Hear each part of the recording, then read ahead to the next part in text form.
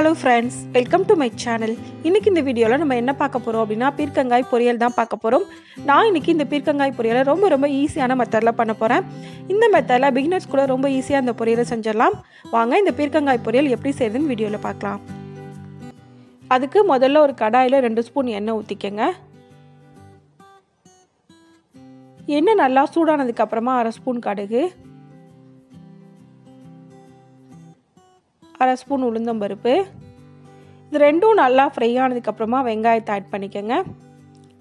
நான் இன்றைக்கி ஒரு பெரிய வெங்காயம் பொடியாக நறுக்கி ஆட் பண்ணுறேன் இப்போ இது கூட காரத்துக்கு ஏற்ற மாதிரி பச்சை மிளகா ஆட் பண்ணிக்கலாம். நான் ரெண்டு பச்சை மிளகா ஆட் பண்ணுறேன் கொஞ்சமாக கருவேப்பிலை ஆட் பண்ணுறேன் இது எல்லாத்தையும் சேர்த்து நல்லா ஃப்ரை பண்ணிக்கலாம். வெங்காயம் லைட்டாக கலர் சேஞ்ச் ஆனால் போதும்.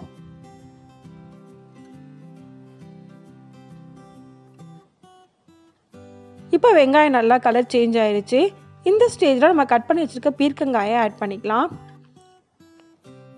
நான் இன்றைக்கி கால் கிலோ அளவுள்ள ஒரு பீர்க்கங்காய் எடுத்திருக்கேன். அந்த தோலெல்லாம் சீவிட்டு இந்த மாதிரி சைஸில் கட் பண்ணிக்கோங்க.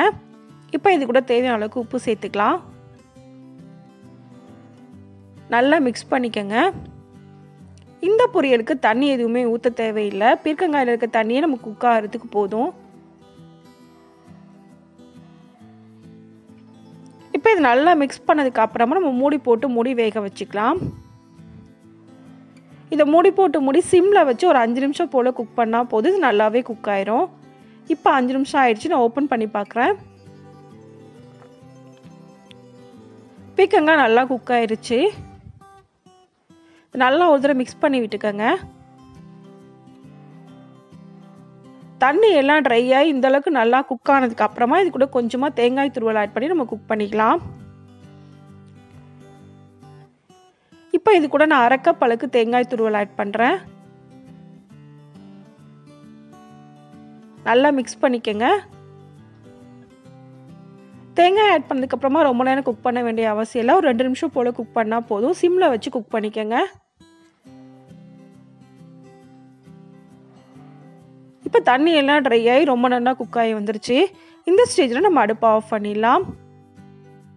இப்போ நமக்கு ரொம்ப ரொம்ப ஈஸியான பீர்க்கங்காய் பொரியல் ரெடி ஆயிருச்சு. இந்த ரெசிபியை இதே மெத்தடில் நீங்களும் செஞ்சு பாருங்கள் இந்த வீடியோ உங்களுக்கு பிடிச்சிருந்தா லைக் பண்ணுங்கள் ஷேர் பண்ணுங்கள் கமெண்ட் பண்ணுங்கள் மறக்காமல் சேனலை சப்ஸ்கிரைப் பண்ணுங்கள் தேங்க்ஸ் ஃபார் வாட்சிங்